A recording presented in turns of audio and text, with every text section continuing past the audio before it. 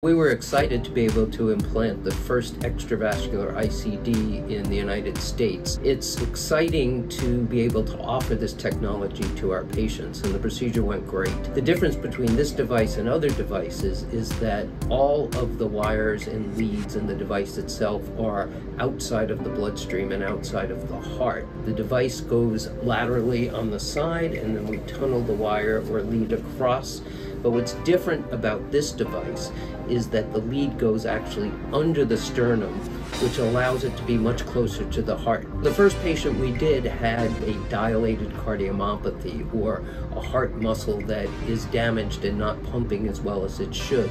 These implantable devices or ICDs allow you to essentially have a paramedic with you at all times. It's always exciting to be able to offer something first in the country or help develop new technology. So when we saw we had the opportunity to offer this patient this technology, it was great. Everything fit together perfectly and we were very excited to be able to again show that Northwell Health and the Sandra Atlas Bass Heart Hospital are leading the way in advancing cardiac care.